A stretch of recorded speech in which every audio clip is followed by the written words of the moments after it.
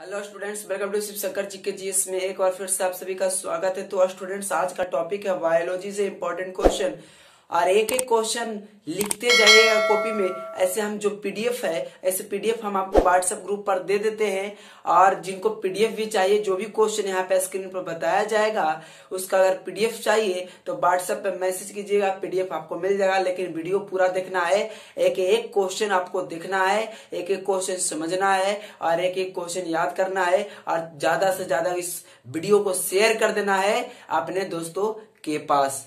तो पहला क्वेश्चन है, पहला क्वेश्चन है कि नमकीन क्षेत्र में होने वाली वनस्पतियों को क्या कहते हैं? तो जो नमकीन क्षेत्र में पाए जाते हैं वनस्पति पेड़ पौधे, उसे क्या कहते हैं? तो हेलो फाइटा। उसके बाद अगला क्वेश्चन है कि पौधों का कौन सा भाग श्वसन करता है? तो पौधा का जो भाग श्वसन करता है, वह है पौधों की पत्ती सांस लेने का काम करता है। क्या करता है? पौधों की पत्ती सांस लेने का काम करता है, यानी श्वसन करता है।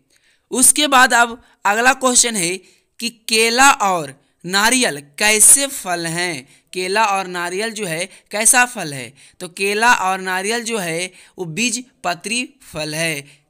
उसके बाद, अब अगला क्वेश्चन कह रहा है कि सिकोना पौधों की तने की छाल से क्या प्राप्त होता है? तो सिनकोना जो पौधा है, उसके तने की छाल से कुनैन प्राप्त की जाती है। राइट आंसर हो जाएगा आपका, कुनैन प्राप्त की जाती है। उसके बाद अगला क्वेश्चन है कि बीज के अंकुरन में क्या महत्वपूर्ण होता है? तो बीज के अंकुरन में क्या महत्वपूर्ण होता है? तो आपका यहाँ पर उत्तर हो जाएगा राइट आंसर होगा, हवा, नमी एवं उपयुक्त ताप। उसके बाद अगला क्वेश्चन है कि ईस्ट और मशरूम क्या होते हैं?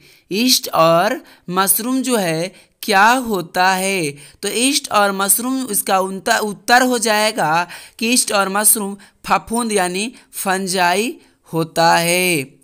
उसके बाद अगला क्वेश्चन है कि कीटों के वैज्ञानिक अध्ययन को क्या कहते हैं? या इसको दूसरे भाषा में कहते हैं, कह सकते हैं कि कीटों के अध्ययन को क्या कहते हैं? तो कीटों के अध्ययन को एंटेमोलॉजी कहते हैं।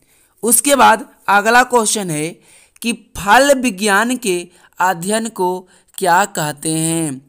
जो फल है, उसके विज्ञान के अध्ययन, यानी फल विज्ञान के अध्ययन को क्या कहते हैं? या दूसरे भाषा में इसको कह सकते हैं कि फल के अध्ययन, फलों के अध्ययन को क्या कहते हैं? तो यहाँ पर राइट आंसर हो जाएगा, आप उत्तर हो जाएगा आपका पोमोलॉजी उसके बाद अगला क्वेश्चन है कि पुष्प विज्ञान के अध्ययन को क्या कहते हैं?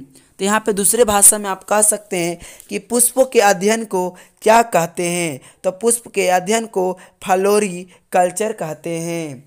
उसके बाद अगला क्वेश्चन है कि सब्ज़ी विज्ञान के अध्ययन को क्या कहते हैं? सब्ज़ी विज्ञान के अध्ययन को क्या कहा जाता है? दूसरे भाषा में इसको बोल सकते हैं कि सब्जियों के अध्ययन को क्या कहते हैं? तो सब्जियों के अध्ययन को ओरेली कल्चर कहते हैं।